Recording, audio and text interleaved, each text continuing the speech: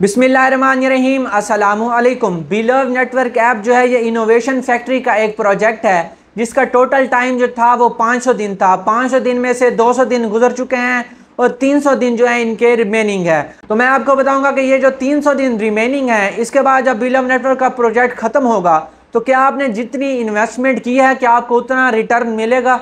या आपने जितने पैसे लगाए हैं बीएलवी टोकन पर या बिलव नेटवर्क में आपको उतना रिटर्न मिलेगा या नहीं मिलेगा? तो सबसे पहले मैं ये बता दूँ कि बिलव नेटवर्क की ऐप पे आप बी टोकन को बाय करके स्टैकिंग पे लगाते हैं और उसका जो पाँच गुना रिवार्ड है, वो आपको डेली वन परसेंट के हिसाब से आने वाले 300 दिन या 500 दिन के लिए दिया जाता है। बिलव नेटवर्क जो है, ये आज तकरीबन 15 मिलियन लोगों की कम्युनिटी बन चुकी है, ठीक है?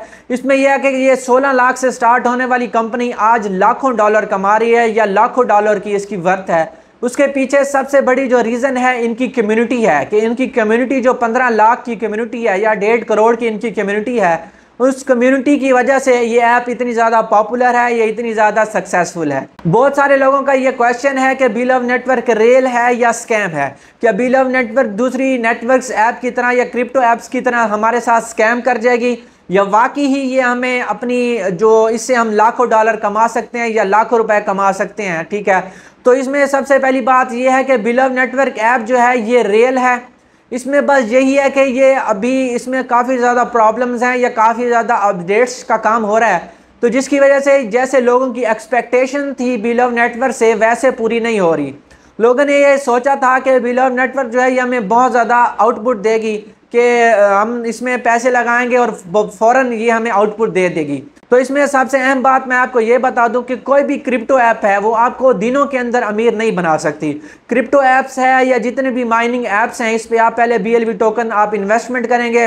इन्वेस्टमेंट करने के बाद आपको थोड़ा थोड़ा रिवॉर्ड दिया जाएगा। उस रिवॉर्ड को आप विड्रॉ करवाएँगे, ठीक है? उसके बाद आपको जाके पैसे मिलेंगे।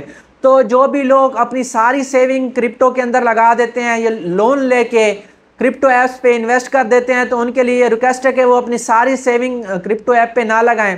ठीक है, ये सोच के कि ये फ़ौरन हमें आउटपुट दे देगी और हम अपने पैसे डबल करके निकाल लेंगे। या कुछ लोग हैं जो लोन लेके क्रिप्टो ऐप पे इन्वेस्ट कर देते हैं, उसके बाद उनकी वैसी एक्सपेक्टेशन पूरी नहीं होती। दूसरी, अगर हम बात करें तो इस पे बीएलवी टोकन की प्राइस है, ठीक है? BLV टोकन की जो प्राइस है, वो zero point zero zero one two five dollar से स्टार्ट हुई थी और आज इसकी जो मौजूदा प्राइस है, वो zero point zero seven dollar है।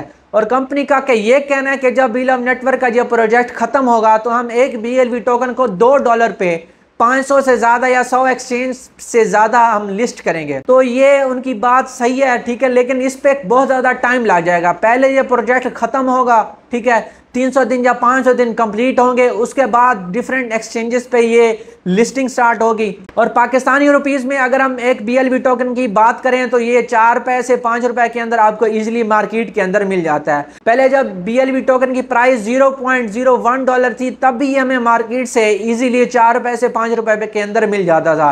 आज इसकी प्राइस इंक्रीज करके zero point zero seven dollar कर दी है। फिर भी सेम ये बी एल टोकन हमें चार पैसे, पाँच रुपए के अंदर मार्केट से इजीली मिल जाता है। अगर इसी रूटीन को देखा जाए या इसी इसी सेटअप को देखा जाए तो अगर आप एक बी एल टोकन की प्राइस जो एक डॉलर हो जाए या दो डॉलर भी हो जाए, तब भी ये मार्केट से आपको पाँच रुपए या दस रुपए में इजीली मिल जाएगा। इसमें यह है कि बिलव टोकन की जो प्राइस है, ये सिर्फ़ हमें ऐप के अंदर देखने को मिली है कि बिलव टोकन की प्राइस जो है, वो ऐप के अंदर अप हो रही है, लेकिन एक्चुअल मार्केट में इसकी प्राइस वही है जो पहले थी। कंपनी ने इस पे गैस फ़ी डबल कर दी है, ठीक है?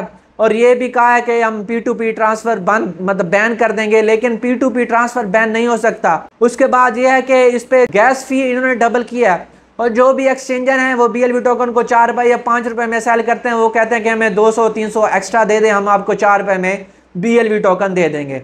तो इसका कोई खास बेनिफिट नहीं हुआ गैस फ़ी को डबल करने का। उसकी सबसे बड़ी रीज़न ये है कि मार्केट में टोकन की सप्लाई ज़्यादा है। बी की प्राइस आजकल जो अप हो रही है, उसकी यही वजह कि उसकी सप्लाई मार्केट में इतनी ज़्यादा नहीं है। बीएलवी की इस वक्त सप्लाई बहुत ज़्यादा मार्केट के अंदर है। कंपनी ने स्टैकिंग शुरू की थी 18 जुलाई को कि आप स्टैकिंग लगाएँ, ये आखिरी स्टैकिंग स्टैकिंग है। लोगों ने स्टैकिंग लगाई, लोगों के बीएलबी टोकन लॉक भी हो गए। लेकिन अभी भी मार्केट में टोकन की सप्लाई बहुत ज़्यादा है। चार हज़ार, पाँच हज़ार, एक लाख टोकन आपको तीन रुपए या चार रुपए में ईजिली मिल जाते हैं। तो BLV टोकन की जो प्राइस है वो तभी दो डॉलर पे ये सेल होगा कि जब मार्केट से BLV टोकन की सप्लाई ख़त्म हो जाएगी, लोगों के पास BLV टोकन नहीं होंगे टोकन शॉर्ट होंगे और डिमांड ज़्यादा होगी, तभी ही जाके BLV टोकन की प्राइस है वो दो डॉलर हो सकती है या दो डॉलर में ये बाय और सेल हो सकता है। अदरवाइज़ अगर सप्लाई ऐसे ही रही मार्केट के अंदर और डिमांड ना हुई तो बी वी टोकन यही पाँच रुपए या दस रुपए में भी सेल होता रहेगा। बिलम नेटवर्क ऐप पे अगर हम विड्रॉ की बात करें तो विड्रॉ जो है वो कुछ टाइम के लिए एक्टिव हो जाता है, फिर विड्रॉ जो है वो डिसेबल हो जाता है। विड्रॉ को एक्टिव या डिसेबल करने की वजह ही यही है कि मार्केट में सप्लाई ज़्यादा है टोकन की। अगर बिलव नेटवर्क जो है ये विड्रॉ को एक्टिव कर दे, बिल्कुल ही एक्टिव कर दे तो डेली लोगों ने अपने हज़ारों टोकन को विड्रॉ लेना है और मार्केट के अंदर एक रुपए या दो रुपए के अंदर सेल करना स्टार्ट कर देना है। तो इससे भी मार्केट में बी टोकन की कोई वैल्यू नहीं रह जाएगी। तो इसमें लोगों का ये क्वेश्चन है कि जो टेन परसेंट बी टोकन हम विड्रॉ लेंगे, क्या उस पर यू फ़ी चार्ज होगी? तो ये सिस्टम वैसे ही है कि अगर आप टेन परसेंट बी टोकन का विड्रॉ लेंगे तो उस पर पाँच परसेंट आपको यूएसडीबी फ़ी लाजमन पे करना ही होगी। और अगर बीएलवी टोकन के बाय और सेल की बात करें या एक्सचेंज की बात करें तो मेरा ये सजेशन है कि कोई ऐसी एक्सचेंज होनी चाहिए थी जिसमें आप लोकल पेमेंट मेथड जैसा कि इजी पैसा जैज कैश या बैंक ट्रांसफ़र के थ्रू बीएलवी टोकन को बाय और सेल कर सकते लेकिन अनफॉर्चुनेटली कोई भी ऐसी एक्सचेंज नहीं है या कोई भी ऐसा सिस्टम नहीं है कि आप बीएलवी टोकन को डायरेक्ट बाय और सेल कर सकें। इसके लिए पर्सन टू पर्सन ऑप्शन है। में भी बहुत सारे लोग जो हैं वो स्कैम कर जाते हैं, ठीक है? कि आपसे बीएलवी टोकन ले लेते हैं और आपको पेमेंट नहीं देते? या आपसे पेमेंट ले लेते हैं और आपको बीएलवी टोकन सेंड नहीं करते, ठीक है? तो कोई एक ऐसा एक्सचेंज होना चाहिए जिस पे अगर आप एक बी टोकन को बाय और सेल करना चाह रहे हैं तो स्टैंडर्ड रेट पे आप बाय और सेल कर सकें और जो पेमेंट है, वो आपको इजी पैसा जैस कैश के अंदर मिल सके।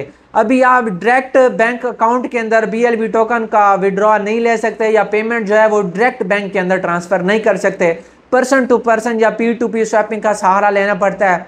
हो सकता है कि जब एक्सचेंज पे लिस्टिंग हो जाए, कुछ टाइम बाद मतलब 200 दिन बाद या 300 दिन बाद एक्सचेंज पे जब लिस्टिंग हो जाए, तब ये पॉसिबल है कि आप डायरेक्ट बैंक के अंदर विड्रॉ ले सकें। अगर बी एल टोकन को बनास पे लिस्ट कर दिया जाए तो उस सूरत में ये पॉसिबल है कि आप इजी पैसा जैस कैश के अंदर अपना विड्रॉ ले सकते हैं। और इसमें रिवॉर्ड का भी प्रॉब्लम है कि आपको डेली रिवॉर्ड नहीं मिलता दो तीन दिन आपको रिवॉर्ड नहीं मिलता, फिर आपको रिवॉर्ड मिल जाता है और डायरेक्ट टीम रिवॉर्ड जो है वो भी आपको कंप्लीट नहीं दिया गया अभी तक, ठीक है?